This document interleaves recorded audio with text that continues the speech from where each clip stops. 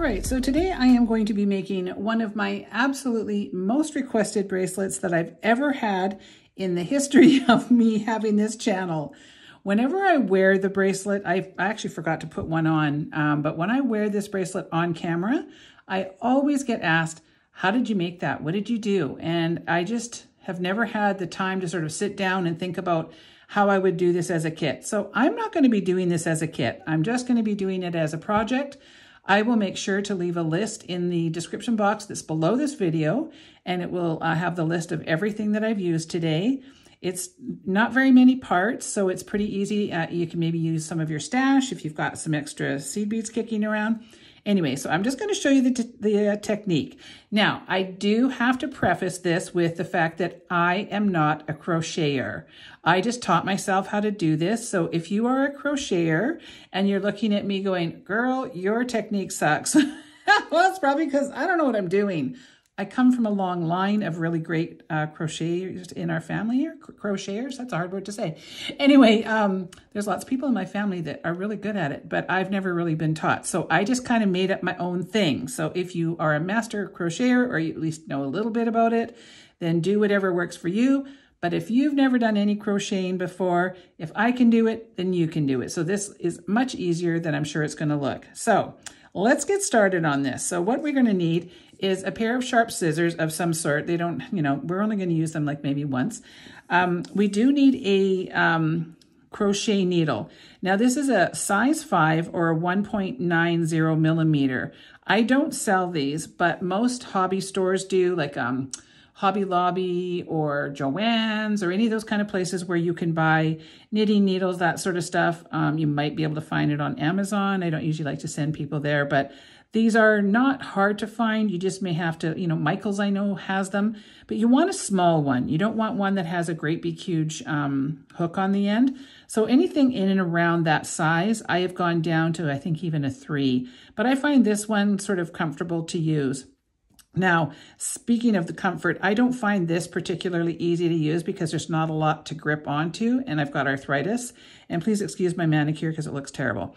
Anyway, um, so you can find some, I think, that have like a bit more of a blocky thing on the end that might make it easier to uh, hold on to. But anyway, so that's what I'm using is a number five or a 1.90 millimeter. I'm also going to be using a thread zapper. You don't have to use that. You can use glue. You could be brave and use a lighter, but um, we do sell these and they're uh, sort of one of those things that is just great for what I'm about to do today. I'm also going to be using S-Lon. Now, I always get asked the question, is S-Lon the same as C-Lon, or is it the same as this?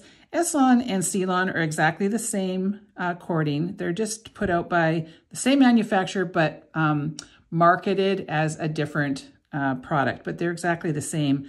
But I think this is the 0.5 uh, tex is what they call it. Um, so I I don't if I'm gonna I know I'm gonna get a lot of questions saying, well, can I use this and I can can I use that? I don't know. You'll just have to experiment. We do sell this. We have I don't know 60 different colors, so you should be able to find something that works for you. If um, you want to try something different, then go ahead and try it and see if it works. I wouldn't use Irish wax linen because one, you're going to need an awful lot.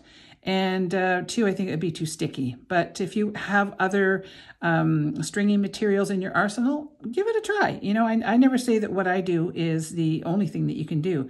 It's just, this is what I use. So I'm going to be using S-Lon. And I'm going to keep like a little, um, you know, bullnose clip or something like that. I've got some little um, accent beads, and I'm going to be using some 6-aught seed beads. So these are two different Miyuki seed beads. These are um, in our on our website. They're a 6-94501, which is the sort of darker uh, color, and the 6-94506. And I love them because they're the Miyuki Picasso beads, and I just love how they look. So the pattern that I did, if you're wanting to, you know, follow along, I used two of one, two of another, two of one, and then I put a the just a little metal bead, and then I just reversed the pattern. So it just kind of goes two, two, two, one, two, two, two, one. So, you know, it doesn't have to be anything in particular. It just, you know, that's kind of what I did. I didn't want to have to use a ton of these uh, little faceted beads. But, you know, the the one that I wear all, all the time on my videos has two different sizes of these little uh, beads. And we do sell lots of different um, small beads like this uh, in our $5 bagged findings section. And they're really good value. So, you know, you can use anything. You don't need to put metal beads in there at all. If somebody's allergic to metal and they um, you don't want to put those in there, don't. If you want to put more metal, metal beads in, put them in. You know, it's really just super, super flexible. So, um, and that's about all you're going to need. Maybe a little GS Hypo if you don't have a thread zapper, but other than that, you, we don't need a lot. So what I uh, recommend is to, well, I don't recommend, you need to, you need to pre-string on all of your beads. So the first thing we're going to do is you're going to cut yourself um, well, you're not going to cut anything. This is a mistake I made today because I was trying to find actual measurements for this um, to be able to tell you. So I ended up cutting my S-Lon, which was silly because then I shortchanged myself on the beads, but you know, I can still teach the demo. Anyway, you're going to just pre-string all of your beads. So you're going to need a total of about 165 beads, somewhere along there. So, you know, you're just going to keep stringing on to your spool. I do recommend buying this by the spool. So I did cut um, six times six, 360 inches of this. Um, so, you know, if you don't, if you only have a little bit, it's not going to work. You need a, a good chunk of your S-Lon. So the easiest thing to do is just start putting all your beads on there and just leave it on the spool. And then you don't really need one of these little bull nose clips. But um, I also use that to help kind of push my beads up a bit. And I'll sort of explain that as I go along. So you want to pre-string all of your beads and leave them on the spool. But I already had another little piece cut here, so I figured I would show you. So I'm just going to sort of pretend that I'm going to make one out of this. And I will show you what I do. So on the opposite end to where the uh, beads are, we're going to just start and make a little slip knot. So again, I know that um, people that know how to knit and crochet and all that stuff have fancy little ways of creating these, and I don't know how to do that. So all I do is I take my uh, cording and I fold it in half, and I give it a little twist, and I take that and I kind of go over top of the long one. So all I'm doing is creating a slip knot like that. And then I put my needle inside, and then tighten it up. So just make any kind of a slip knot. I don't recommend tying it on there because then it doesn't have any, um, you know, it's not loose because you want to be able to pull that open and close uh, if you want. So the first thing that you're going to do is pull down a bead. So actually what I'm going to do is I'm going to show you how to crochet just in case you don't know how. So I find the best thing with crocheting is to have a little bit of tension. So you want some of this on these fingers. And then I like to hold on to this. Now, as always, the first couple are really tough to do because you don't really have anything to hold on to. But to crochet, all I do is I take my little needle and I sort of, I bring it around and swoop, and then I pull through that little loop, and there's one. So that's all you're doing is pulling and swooping through like that. So I'll just do a couple so you kind of see what I do here. Now, we don't want these loops tight on the needle. We want, um, I guess it's a hook. It's not really a needle, it's a hook. But we don't want it tight on there because if you pull it too tight, you're not going to be able to make a nice chain.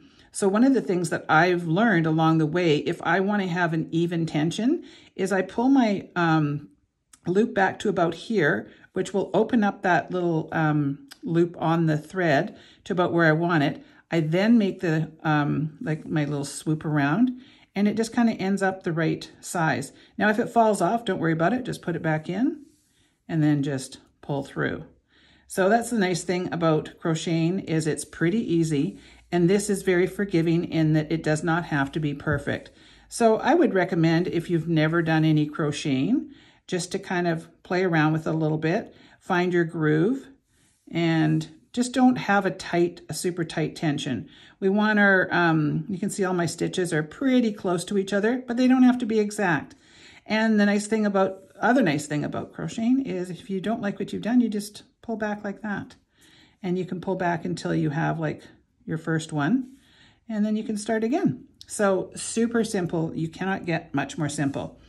So let's start the project. So the first thing that I would do is I like to use my little bullnose clip and kind of clip back down here and it helps keep the beads towards the front versus all falling down the back. But if you've got them on a spool, you can do the same sort of thing. It just it's hard if all your beads are all down on one end. So the first thing I'm going to do is take one bead and I pull it down and I'm going to just do a stitch around it. So you just kind of ignore that it's there and you're just going to go around it.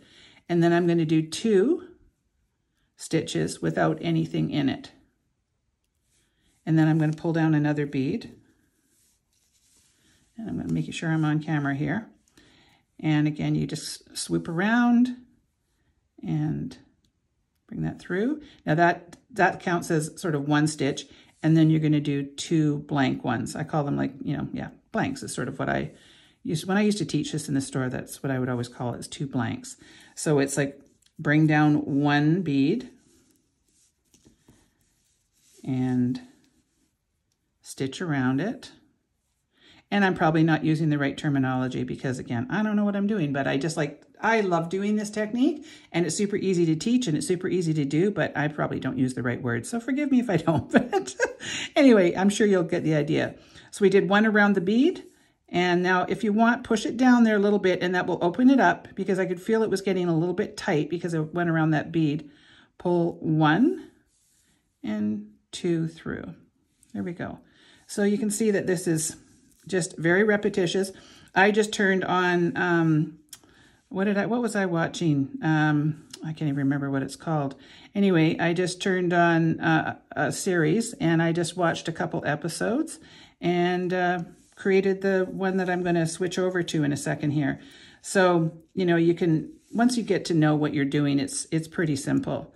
So pull your bead down, stitch around it, and then do one, two.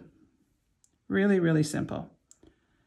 And if it doesn't go in there, just what I often do, if it doesn't go through, that means your tension's too tight. So pull back so that it goes, um, it opens that up and then pull that through and you see it, it'll just pop right in there.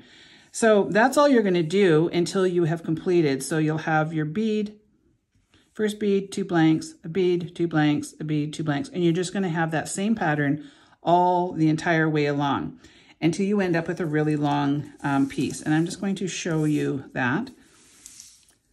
So I created one, but like I said, I made a mistake in that I was trying to measure and like a silly person, I cut mine off the end. So normally I would have 161 or 165 beads, something like that. I only ended up with 133 here.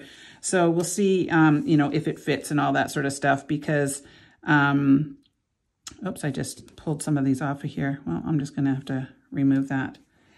Um, maybe I can put those on there. I'm not sure. Let me see. All right, so um, yeah, I can actually do those. I'm just going to pop those on the end. So don't cut your uh, S-Lon off of the spool. That is my lesson of the day. Because, you know, when I'm trying to do things, I'm thinking of 10 different things at one time, and I really wanted to have an accurate measurement for you. And then I, you know, messed up and didn't realize until I was, you know, about 90% of the way through that that's what I had done. And I went, oh, well, that's not going to work. So I'm just going to do these last two beads so that my pattern continues. So one around the bead and two blanks. And then my last bead, I'm going to do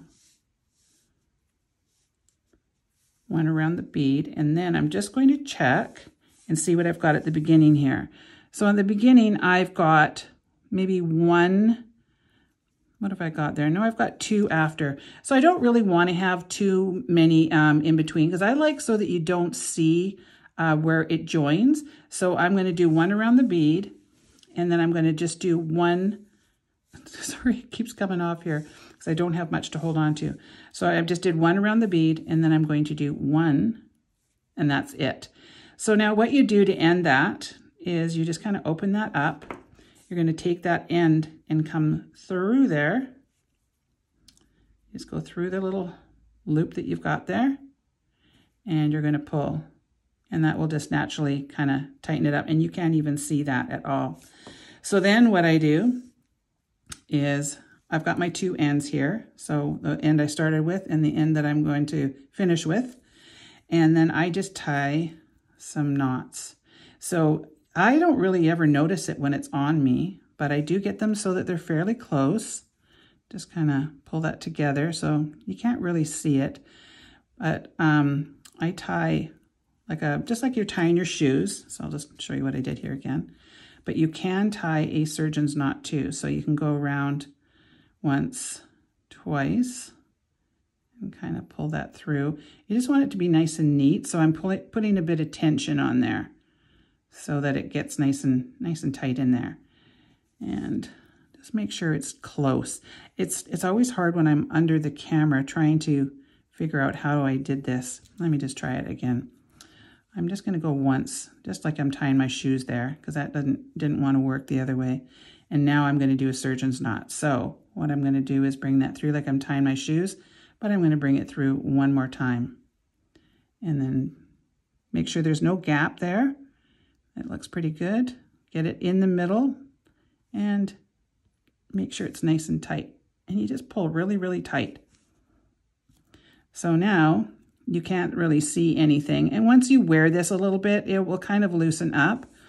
So what I'm going to do is I'm going to be using a thread zapper, but if you don't have a thread zapper, I would glue that really well and then trim it off after. I wouldn't do it in the um, manner that I'm doing it right now. I would glue it like crazy with some GS Hypo so that's not going to go anywhere.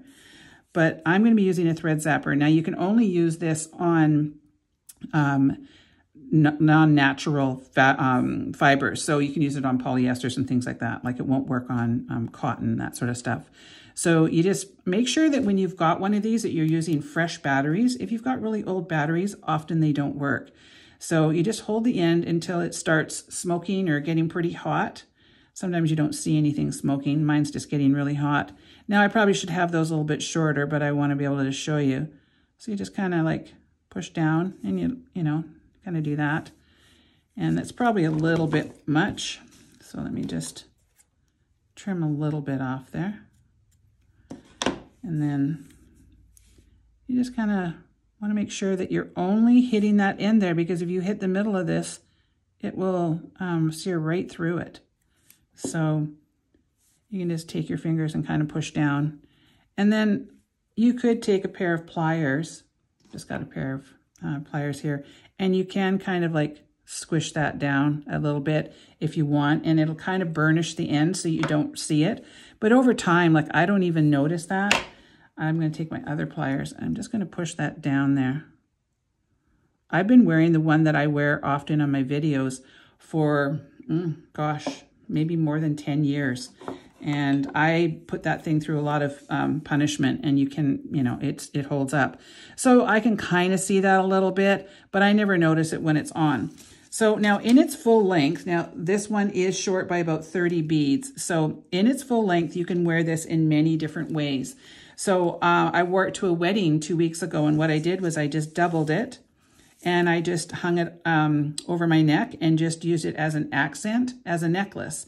The other way that I have worn it over my neck, and I would show you, but it's really hard on camera. Um, so I would, I will put it on like one long piece like this, and then I will wrap it around my neck again and create like a bit of a, a choker. So I've got like a choker around my neck and then one long piece hanging down. So that's how I wear it as a necklace. I gave one to my mom and she has worn it where she takes it and brings it around her neck and brings one end through the other and pulls it up so that it's like a choker kind of thing, like a lariat sort of thing, but more like a choker because that goes around her neck. Uh, so there's, you know, lots of different ways that you can wear it uh, as a necklace. My favorite way is to just wrap it around my wrist. So all I do is I just wrap it around like that. And then when I get to this part where it's a little bit, you know, hard to get around, I just sort of do this. And there we go. Now, if you want, because what I do, I like it a little bit tighter on me. I don't like it this loose. I will take it, let me get this off now. And this is where it will stretch a little tiny bit over time uh, because I, I kind of make it really, really snug. And then I get one more loop. I'm not too sure if I'm going to be able to because I didn't make this one the right size, um, the right length. But I take this and I go pretty tight. And it looks really tight for now. But then So I might, yeah, I can get it one more. So it doesn't look like you can, but you kind of just take it and squish it on. And then you go backwards and just keep kind of moving your, it looks awkward. I'm hoping I'm under a camera. It's going to look tight until I kind of get my, there we go. So that loosens it up, but it made a little bit snugger around my wrist. And then I got one more loop. So now when you have the actual length of about 161, 165 beads, something like that, you'll get another uh, couple loops. And so it's quite wide looking. And I just think it's so cute and it's timeless. I've been wearing mine, like I said, for about 10 years and I get compliments every time I wear it. So I really hope that you enjoyed this one. It's one of the most simple techniques. It's a good stash buster if you've got some 6-aught seed beads. Um, you could use anything like that, anything that you can get your, um, like I didn't, I didn't really use a needle, but you could use a, uh, a big eye needle to make it easier to get the beads on. But really all you want to make sure is that you can get that um, S-Lon cording through your beads and you're set to go. And so that's it. So I hope you liked this video. If you did, please make sure to give me a thumbs up and leave me a comment and tell me uh, what you're going to do with it. Um, make sure that if you do put this away, like in um, a jewelry box or something like that, that the, one of the things that I can recommend is to wrap it around like a, um, an old um, paper towel holder or something like that, or toilet paper holder, um, just like the roll, because this can tangle really easily if you just throw it in the bottom of your jewelry box. And especially if you're going to travel, wrap it around something so that it does not tangle. Uh, so there's my little tip for the day. Um, so um, make sure if you haven't subscribed to my channel that you do. I'm trying to put out as many videos as I can lately, and I'm darn close to my 100,000 um, subscribers. So please make sure that you the, the crew if you uh, like your con my content. And that's about it. So thank you so much for watching, and we will see you on the next one.